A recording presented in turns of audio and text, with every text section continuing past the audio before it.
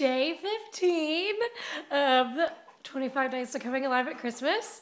I'm joining you here today with my friend Bleeker, my favoriteest dog, who I'm dog sitting for. Say hi, Bleeker. Doesn't that make you come alive? He is so snuggly, and I just can't wait to snuggle him. Um, I loved day 15 as just the reminder that our God is so big, so strong, and so mighty. There's nothing our God cannot do. And just a reminder that He carries us and um, as I mentioned in the devotional, if you didn't get a chance to read it, one night my nephew Alex just randomly asked me why I wasn't married yet. And I said, Well, the Lord has not brought me a husband yet. And he said, Well, you need a husband to help you carry your heavy things, which made me giggle.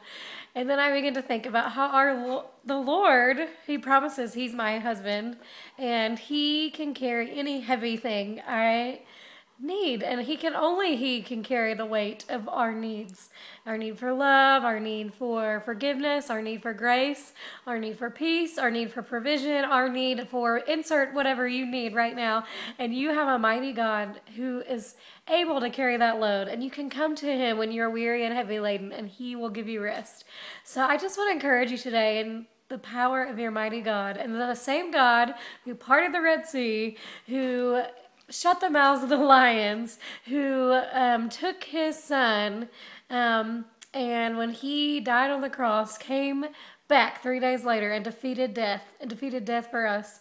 That same mighty God wants to show himself mighty in your situation. So come alive today knowing.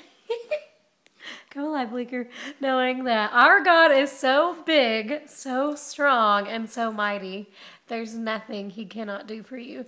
And when you feel like you don't see him working, just remember he's working always behind the scenes.